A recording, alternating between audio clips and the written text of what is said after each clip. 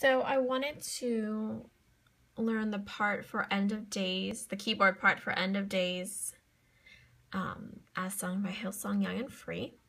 And it's originally in A, so we're going to start in A, and then actually we're going to end up playing in G because that is the key that we want. All right. Let's get the camera situated. Okay.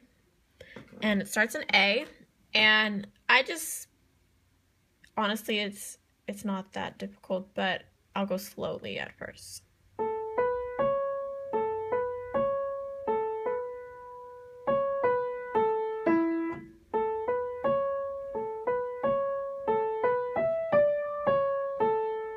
And you repeat that twice. So at tempo, it's more like.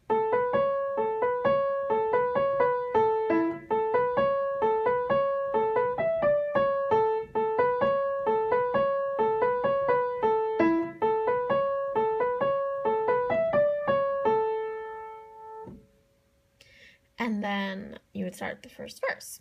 And at the end of the chorus, you would actually repeat this again. You do it twice, same like the first time.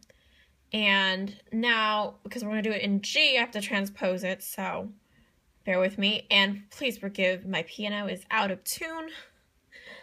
Yeah, I hear it. It's all right. It's going to get tuned soon. all right. In the key of G slowly.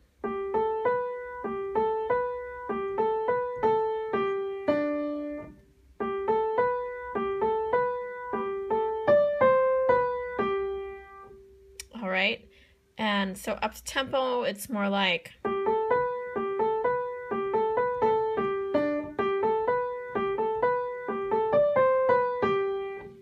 And then you do it twice.